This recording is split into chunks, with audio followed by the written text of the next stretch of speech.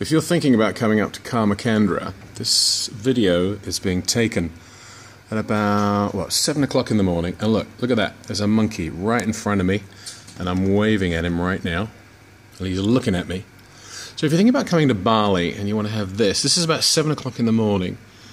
If you want to have a priceless experience and a monkey performance right on your veranda, uh, we're in uh, Villa 44 and they normally come by at least once a day. And they fight. They try to sort of playfully hump and um, show dominance on each other. One minute they're having a big argument, and the next minute they're all making up and holding on to each other. Look at these guys. I think there's a lot that we humans can learn from this lot. Look at them. All three of them.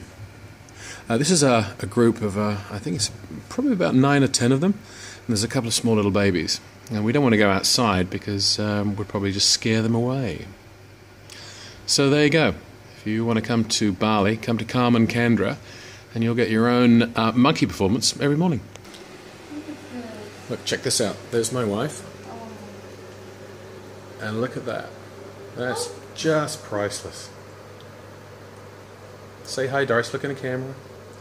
See, there she is. Look at that. They're looking at her. Who's who's in the zoo? Are we in the cage or the... we're in the cage, honey? Not them.